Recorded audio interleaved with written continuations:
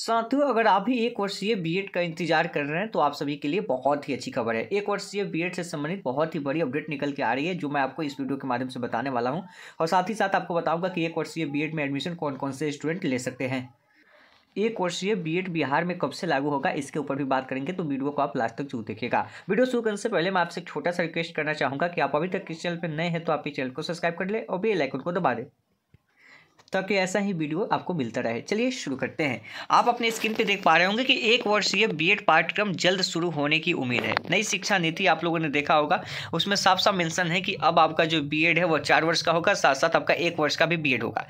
जो लोग पीजी कर चुके होंगे, यानी कि जिन लोगों का पीजी कंप्लीट हो जाएगा, वो लोग जो है एक वर्षीय बी कर सकते हैं। और साथ ही साथ नई शिक्षा नीति में आप देखेंगे कि चार वर्ष का आपका ग्रेजुएशन हो गया है। तो जो लोग चार वर्ष का ग्रेजुएशन करके आएँगे, वे भी एक साल का बी जो है यहाँ पे कर सकते हैं। बहुत सारे लोग इंतज़ार कर रहे हैं, जिन्होंने पीजी तो कर रखा है, लेकिन उन्होंने बीएड अभी तक नहीं किया है। तो एक वर्षीय बीएड का वे लोग इंतज़ार कर रहे हैं कि अगर एक वर्षीय बीएड आ जाता तो हम सभी जो है इसके लिए एलिजिबल हो जाते अब यह न्यूज़ जो आप देख पा रहे हैं, यह न्यूज़ जो है लखनऊ से निकल के आई हुई है। एक वर्षीय बीएड पाठ्यक्रम जल्द शुरू होने की उम्मीद है। अब यहाँ पर लिखा गया है कि एल समेत सभी शैक्षणिक संस्थानों में सत्र दो हज़ार चौबीस से पच्चीस में एक वर्षीय बी पाठ्यक्रम शुरू होने की उम्मीद है। यानी कि यह कहा जा रहा है कि यह आपका जो 2024 अब शुरू हो चुका है, इसी सेशन में आपका एक वर्षीय बी जो है शुरू होगा। और यह देखेंगे कि इसके लिए पाठ्यक्रम जो है तैयार की जा रही है। और इस पाठ्यक्रम में चार वर्षीय स्नातक और परास्नातक की डिग्री हासिल करने वाले विद्यार्थी दाखिला ले सकते हैं, यानी कि जो चार वर्षीय बीएड कर लिए हों, या चार वर्षीय बीए कर लिए हों, या फिर आप उन्होंने स्नातक यानी कि अगर उन्होंने पीजी कर रखी है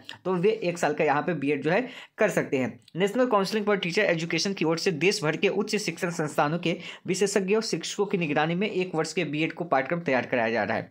पाठ्यक्रम बनाने के लिए जो समिति गठित की है, उसकी अध्यक्षता शिक्षा संकाय की वरिष्ठ प्रोफेसर तृप्ता त्रिवेदी कर रही है। और आप देखेंगे कि यहाँ पे एक वर्ष का बीएड भी आपका लागू होगा। और केवल और केवल यह आपके यूपी में लागू नहीं होंगे। एक बार अगर पाठ्यक्रम इसका तैयार होता है तो फिर इसके बाद हर राज्य में आपको यह देखने को मिलेगा। और बिहार में भी यह उम्मीद की जा रही है कि 2024 वाले सेशन से बीएड जो है यहाँ पे एक वर्ष का लागू हो जाए। अब देखिए जो अपडेट आएगी आप सभी को बताया जा रहा है। तो यूपी में तो इस बार आपका लागू होने वाला है। उसमें समय भी कम है क्योंकि इसके लिए इंट्रेंस एग्ज़ाम भी होंगे। अगर एक वर्ष का बी आता है तो इसके लिए इंट्रेंस एग्ज़ाम भी होंगे। तो इसलिए आप सभी जो है पहले से ही इंट्रेंस एग्ज़ाम की तैयारी करते रहिए। बिहार में थोड़ी सी भी जहाँ हम लोग को लगेगी कि एक वर्षीय बी का आगमन हो रहा है, वैसे ही हम लोग इंट्रेंस एग्ज़ाम के लिए क्लासेस जो है स्टार्ट कर देंगे तो अभी थोड़ा सा वेट करना है, यानी कि वाच एंड वेट वेट की स्थिति में हम लोग को रहना है। जैसे कोई खबर यहाँ से निकल के आती है बिहार से तो फिर हम लोग क्या करेंगे, इसकी तैयारी जो है शुरू कर देंगे, क्योंकि एक वर्षीय बी में कंपटीशन आपकी काफ़ी ज़्यादा होगा, क्योंकि सभी लोग एक वर्षीय बी का ही इंतज़ार कर रहे हैं। तो एक वर्षीय बी वही लोग कर सकते हैं जिन्होंने पीजी कंप्लीट कर रखा है, और अगर उनका सेशन दो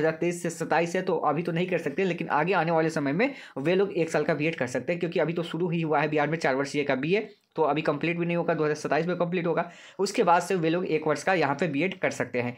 तो जो पीजी किए हुए हैं थोड़ा सा वेट कीजिए और जैसे ही अपडेट आएगी, आप सभी को अपडेट देंगे। इसलिए चैनल को सब्सक्राइब कर लीजिए और साथ ही वीडियो के डिस्क्रिप्शन में जो टेलीग्राम चैनल है, उसको ज्वाइन कर लीजिए ताकि आगे की अपडेट आपको मिलती रहे। मिलते हैं नेक्स्ट वीडियो में। धन्यवाद।